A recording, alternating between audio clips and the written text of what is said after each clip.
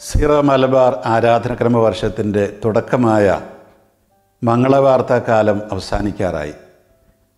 നമ്മൾ ഈശോയുടെ ജനന തിരുനാൾ ആചരിക്കാൻ ഒരുങ്ങുകയാണ്. എറണാകുളം അങ്കമാലി അതിരൂപതയിലെ വിശ്വാസ പരിശീലന വിഭാഗത്തിന്റെ ധ്യാന ചിന്തായജ്ഞത്തിന്റെ ഭാഗമായ പുൽക്കൂട്ടിലേക്കൊരു യാത്ര എന്ന ഈ പരമ്പരയിൽ സംസാരിക്കാൻ എനിക്ക് അവസരം ലഭിച്ചതിൽ ഏറെ സന്തോഷിക്കുന്നു. സംഘാടകർക്ക് ഹൃദയപൂർവം നന്ദി പറയുന്നു. എന്നെ കാണുകയും കേൾക്കുകയും ചെയ്യുന്ന നിങ്ങൾക്കെല്ലാവർക്കും ഇതിലൂടെ ദൈവവചനത്തിന്റെ പൊരുൾ അല്പം കൂടി മനസ്സിലാക്കുവാൻ ഇടയാകട്ടെ എന്ന് ഞാൻ പ്രാർത്ഥിക്കുന്നു. അവിടുത്തെ വചനത്തിന്റെ യഥാർത്ഥ സാക്ഷിയാകാൻ എനിക്ക് വേണ്ടിയും നിങ്ങൾ പ്രാർത്ഥിക്കണം എന്ന് പ്രത്യേകം അപേക്ഷിക്കുന്നു.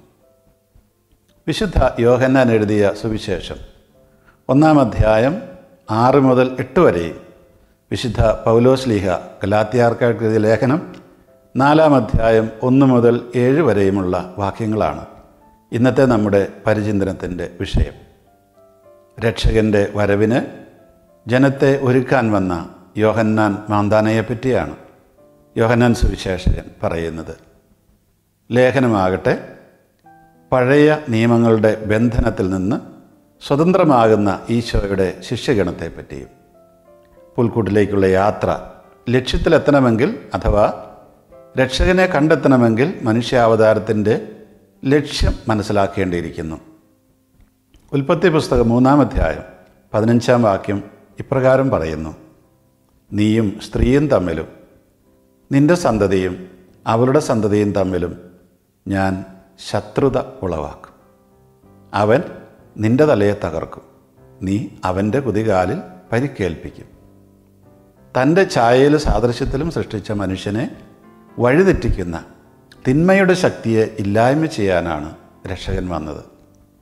നന്മയും തിന്മയും സ്വയം തീരുമാനിച്ച് ദൈവത്തെ പോലെയാകാനുള്ള എല്ലാവരേക്കാളും വലിയവരും ശക്തരും എല്ലാവരുടെയും നേതാക്കളും ഭരണകർത്താക്കളും എല്ലാം ആകാനുള്ള പ്രലോഭനമാണ് ആ തിന്മയിൽ ഏറ്റവും വലുത്.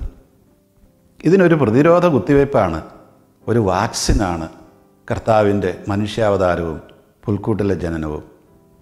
ഈശോയുടെ ജന്മസ്ഥലമാകേണ്ട നമ്മുടെ പള്ളികളും അതിലൊരുക്കപ്പെടുന്ന പുൽക്കൂടുകളും ഇതിനെല്ലാം കാരണമാകുന്ന നമ്മുടെ ചിന്തകൾ സമ്പത്തിന്റെയും പ്രൗഢിയുടെയും ശക്തി പ്രകടനത്തിന്റെയും പ്രതീകങ്ങളാകുമ്പോൾ പുൽക്കൂട്ടിലെ ഉണ്ണീശോയുടെ പുൽക്കൂട് അതിന്റെ സന്ദേശത്തെ തന്നെ വെല്ലുവിളിക്കുന്നതിന് തുല്യമാകും. യോഹനാൻ മാംദാന ഇവിടെ നമുക്ക് വഴികാട്ടിയാണ്. യോഹനാൻ സ്ലീഹ തന്റെ സുവിശേഷത്തിന്റെ മൂന്നാം അധ്യായം മുപ്പതാം വാക്യത്തിൽ പറയുന്നത് പോലെ അവൻ വളരുകയും ഞാൻ കുറയുകയും വേണമെന്ന് പറയാൻ നമുക്കും കഴിയണം.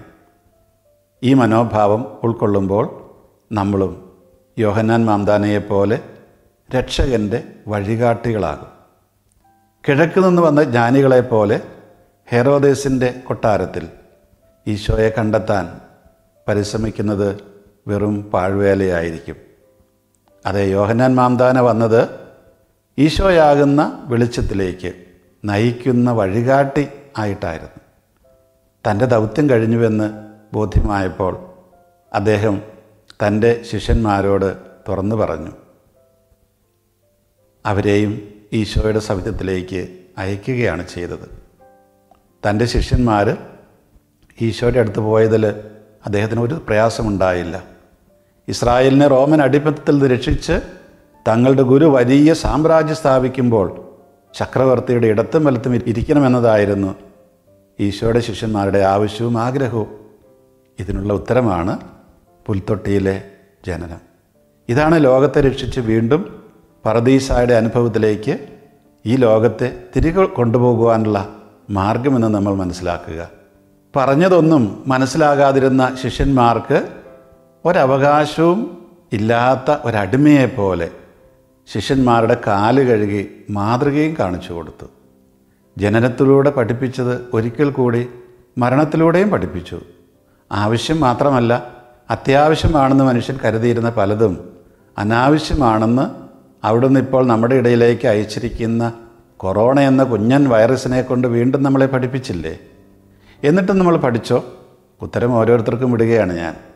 അവനവൻ തൻ തന്നെ മഹത്വം അന്വേഷിക്കാതെ ഞങ്ങൾക്കല്ല കർത്താവേ ഞങ്ങൾക്കല്ല മഹത്വം എന്നും അങ്ങേക്കാവട്ടെ അങ്ങയുടെ കരുണയ്ക്കാകട്ടെ എന്ന് പറയാൻ അവന്റെ ശിഷ്യർക്ക് കഴിയുമ്പോൾ അവന്റെ ജനനം സന്തോഷവും സമാധാനവും പ്രദാനം ചെയ്യുന്ന ആചരണമാകും. മഹത്വം എപ്പോഴും അവിടത്തേക്കായിരിക്കണം എന്ന തിരിച്ചറിവിൽ അവിടുത്തെ ശിഷ്യർ എത്തുമ്പോൾ അത്യുന്നതങ്ങളിൽ ദൈവത്തിന് മഹത്വം എന്ന് മാലാഖമാർ പാടിയത് സമാധാനത്തിന്റെ ആനന്ദഗീതമായി മാറും. പ്രായപൂർത്തിയാകുന്നതിന് മുമ്പ് മാതാപിതാക്കൾ നഷ്ടപ്പെട്ടാൽ മക്കൾ മറ്റാരുടെയെങ്കിലും സംരക്ഷണയിലായിരിക്കും ഇതുപോലെ. പഴയ നിയമത്തിലെ ജനത പ്രായപൂർത്തിയാകാത്ത മക്കളെപ്പോലെ മോശ വഴി കൊടുത്ത നിയമത്തിന്റെ സംരക്ഷണത്തിലായിരുന്നു. എന്നാൽ ഈശോയുടെ ശിഷ്യരാകുന്നവർ പ്രായപൂർത്തി വന്നവരെ പോലെയാണ് പ്രായപൂർത്തി വന്നവർ എന്ന നിലയിലുള്ള എല്ലാ അവകാശ അധികാരങ്ങളും ഉത്തരവാദിത്തങ്ങളും ഇതിലൂടെ അവർക്ക് ലഭ്യമാകുന്നു. ഈശോയുടെ ശിഷ്യന്മാർക്ക് നമുക്ക് ഈ തിരിച്ചറിവ് ഉണ്ടാകുമ്പോൾ നമ്മൾ യഥാർത്ഥത്തിൽ അവിടുത്തെ സഹോദരരും ദൈവത്തെ പിതാവേ എന്ന് വിളിക്കാൻ യോഗ്യരുമാകുന്നു. ഏവർക്കും ക്രിസ്തുമസിന്റെ ആശംസകൾ നേരുകയാണ്. പുൽക്കൂട്ടിലേക്ക് നമുക്ക് നടക്കാം.